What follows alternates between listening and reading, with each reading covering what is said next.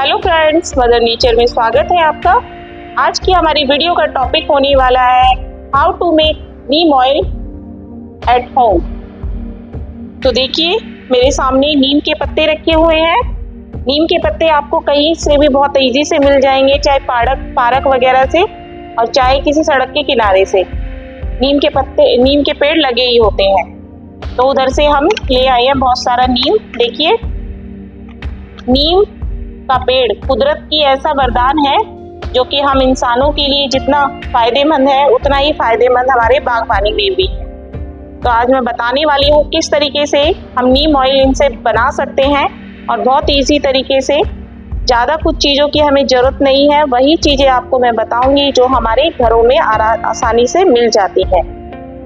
और किस तरीके से हम इसका ज़्यादा से ज़्यादा फ़ायदा ले सकते हैं और किस तरीके से इसे यूज़ करना है और कितनी मात्रा में यूज़ करना है आज का हमारा वीडियो इसी टॉपिक पर होने वाला है। बहुत आसानी से, बहुत इजी से आप बना लेंगे। तो चलिए शुरू करते हैं, किस तरीके से हमें बनाना है इसे। आइए, चलिए। नीम ऑयल बनाने के लिए सबसे पहले हम पत्तियों को अच्छे से साफ़ कर लेंगे। इस तरीके से एक भगोने में हमने पानी ले लिया है। पत्तियों पे कोई डस्ट वगैरह होगी तो वो क्लीन हो जाएगी। तो इस तरीके से हम इसे, ये स्टेम से हमें इसे अलग नहीं करना है। पत्तियों को। स्टेम के साथ ही इसे हमें पीसना है।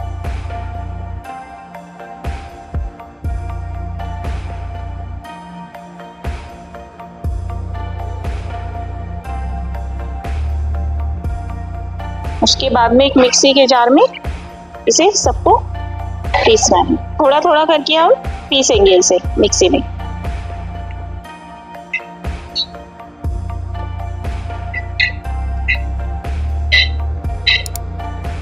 इसमें हम थोड़ा सा पानी डाल लेंगे थोड़ी पानी की ज़रूरत है।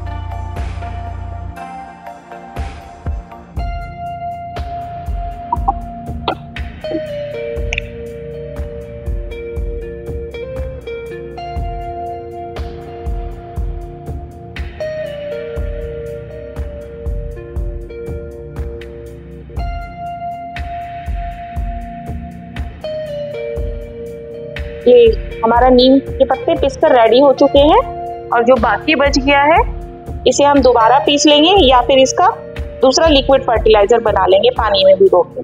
ठीक है? हमें इतनी ही ज़रूरत है फ़िलहाल के लिए तो इसलिए हम बाद में इसका देख लेंगे क्या करना है। उसके बाद में करना क्या है? एक बर्तन ले लेंगे। उस बर्तन में हम लेंगे मस्टर्ड ऑयल सरसों का तेल। सरसों का तेल सभी के घरों में होता ही है। मैं आपको वही इंग्रेडिएंट्स बताऊँगी, वही चीज़ें बताऊँगी जो हमारे घरों में आसानी से मिल जाती हैं, ना कि कोई और दूसरी। इसके बजाय आप नारियल का तेल भी ले सकते हैं या फिर सरसों का तेल, दोनों में से जो भी चाहे आप यूज़ कर सकते हैं। तो एक कटोरी भरकर हमने ले लिया है।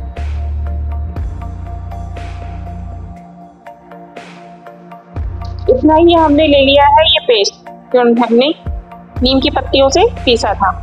ठीक है? और इन दोनों को हम कर देंगे मिक्स दोनों बराबर बराबर ही है।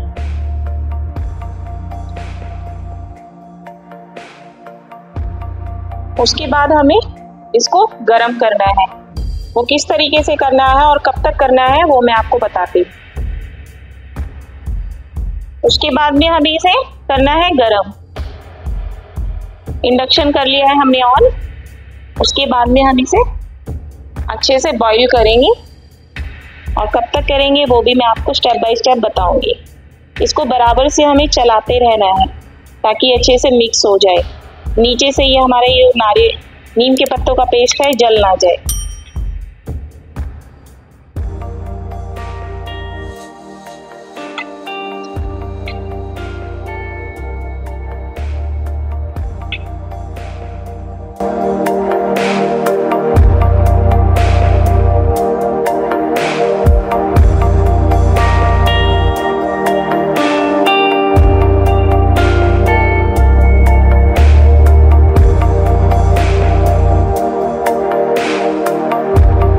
धीमे मैं आपसी से इसमें उबाल आना चाहिए जिससे कि अच्छे से पके।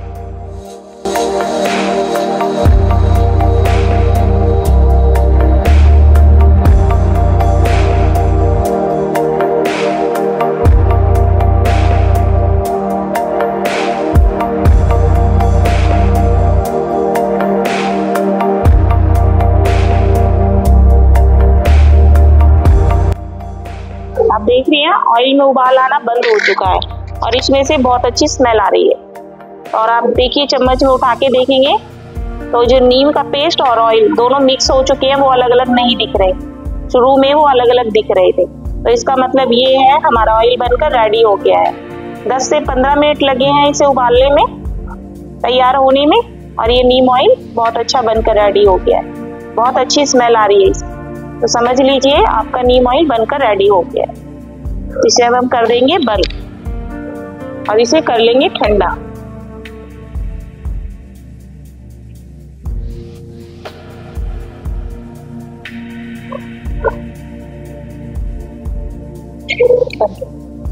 नीम का ऑयल ठंडा हो गया है। अब इसको हम छान लेंगे किसी बर्तन में। बिल्कुल ठंडा नहीं हुआ है, हल्का सा गर्म है, इसलिए मैं किसी बॉटल वगैरह में नहीं कर रही हूँ, कांच की बॉटल में इसको रखना ज़्यादा सेफ़ होगा। ये लॉन्ग टाइम तक चलेगा। कम से कम आप साल भर तक आराम से इसे स्टोर करके रख सकते हैं। इस टाइप की कोई कांच की शीशी हो तो उसमें आप आराम से इसे रख सकते हैं।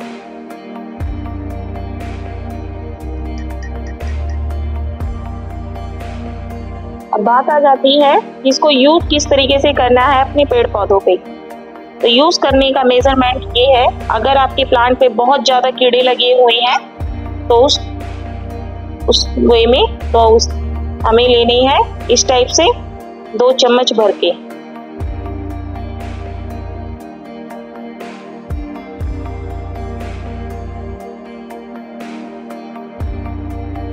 और अगर कम है रेगुलर में आपको डालना है, हफ़्ते में एक बार जैसे नीम ऑयल का छिड़काव कर देते हैं तो आपको एक चम्मच ही इनफ रहेगा।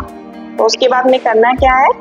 इसको अच्छे से शेक कर लेना है। तो देखिए किस टाइप का? पानी बन चुका है। उसको स्प्रे किस तरीके से करना है? मान लीजिए आपको एक एग्ज़ाम्पल के तौर पे मैं बता रही हूँ। तो आपको अपने सभी पत्तों पे इस तरीके से स्प्रे करना है। आगे पीछे सब जगह से। क्योंकि जो कीड़े होते हैं प्लांट के पत्तों के पीछे बहुत ज़्यादा चिपकते हैं। क्योंकि ऊपर से तो हम वॉश कर देते हैं पानी से। लेकिन पीछे का एरिया रह जाता है। और थोड़ा आप मिट्टी में भी स्प्रे कर दो। जिससे कि मिट्टी में जो भी कीड़े वगैरह हो तो वो हट जाए। तो ये थी मेरी पूरी जानकारी नीम ऑयल के ऊपर। इस तरीके से इसे बनाना है और इस तरीके से इसे इस्तेमाल करना है। आपको मेरी ये जानकारी किस कैसी लगी, कमेंट करके ज़रूर बताइएगा। मेरे चैनल को सब्सक्राइब कीजिएगा, मुझे ज़्यादा से ज़्यादा सपोर्ट करिए, क्योंकि हर वीडियो को बनाने में बहुत मेहनत लगती है। गार्डनिंग करते रहिए, स्वस्थ रहिए, धन्यवाद।